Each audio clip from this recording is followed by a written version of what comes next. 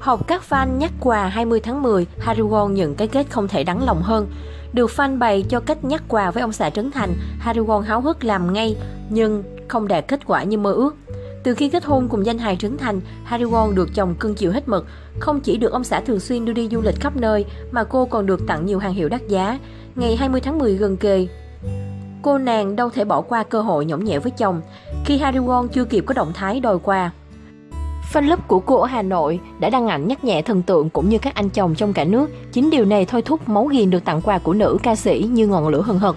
Lập tức cô lấy hình ảnh do fan chế cho mình để gửi ông xã Trấn Thành với mong ước nhỏ nhoi là ông xã sẽ có động thái xương xương. Nào ngờ nhận được ảnh vợ gửi danh hài Trấn Thành lập tức nhắn lại xanh rờn. Thuê bao quý khách vừa gọi hiện nằm ngoài vùng xử lý, vui lòng gọi lại lúc khác hoặc không gọi lại càng tốt. Fan của Harry Won nhiệt tình chế ảnh và chỉ cách đôi qua chồng. Won vô tư làm theo những thất bại toàn tập.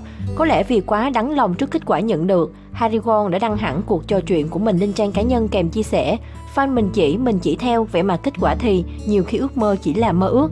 Đoạn tin nhắn của vợ chồng Sinri khiến fan được một fan cười bò vì độ lầy lội khó ai vượt mặt của cả hai.